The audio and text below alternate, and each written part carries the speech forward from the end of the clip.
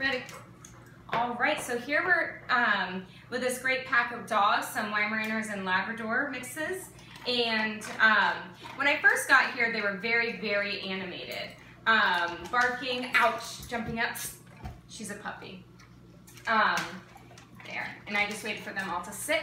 And what we want to do today is really establish a lot of rules and structure. So we didn't have a lot of rules in place. And what we want to do is start to establish that. So we gave um, rules such as no furniture for a minimum of 30 days or until the behavioral problem resolves. So no furniture until the dogs are acting in a way that you want them to act. That might mean that some dogs get privileges to be on the furniture quicker than others. So say Maggie it has really calm energy. She already comes over and sits or lays down for attention.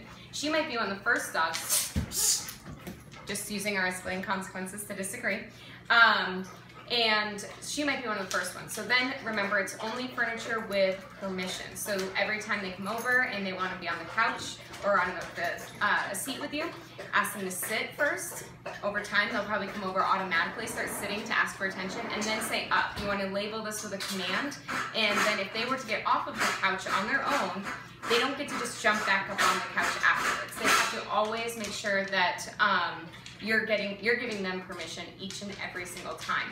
The next one is making sure that the dogs are sitting before they're going in and out of the doors. That's really important because it's going to help them build self-control over time and when they go outside they're not going to be so riled up. The energy level they have before they go through the door will be the energy they bring outside. So if they're really anxious, really worked up, a lot of energy, when they go outside, they're gonna just be racing around and that's where some of the disagreements between disagreements between some of the dogs is, is when they go from being indoors to outdoors. Remember that leadership um, is really flexible with dogs, so going outside might be a whole different leadership uh, rank order than when they're indoors. So that's a lot of times where there can be conflict when going from different rooms or going indoors to outdoors. Okay, we also worked on how to help foster um, have a positive relationship with the little dog Scooter that lives primarily upstairs. I would suggest practicing this a couple times a day if possible, but make sure when you're practicing using the counter conditioning method that you see in the video above, that you are you have enough people, at least two people there to help make this a controlled setting. Also, I'd encourage you to have all the other dogs outside because we're using treats. Their energy will bounce off of each other. So to help foster, not start to posture and intimidate the smaller dog, we want to use a good treat reward to help him make that positive association. So make sure all the other dogs are outside.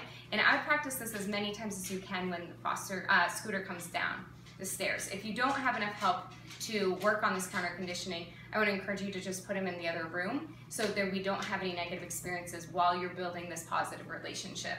So again, practice this as much as you can um, and make sure you give a lot of good treat rewards um, to encourage this good behavior. The next thing that we um, did is make sure we went through a structured feeding ritual and we're going to reward the dogs that have the best behavior. Sit.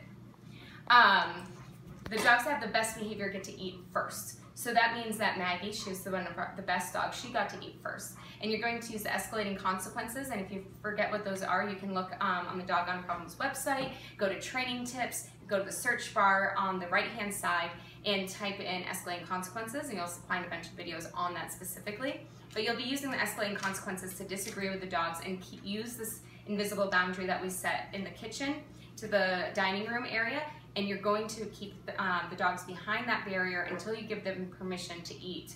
And some dogs that have um, similar behavior get to eat at the same time. So you can be a judge of that over time, who can eat when and what you want to reward, okay?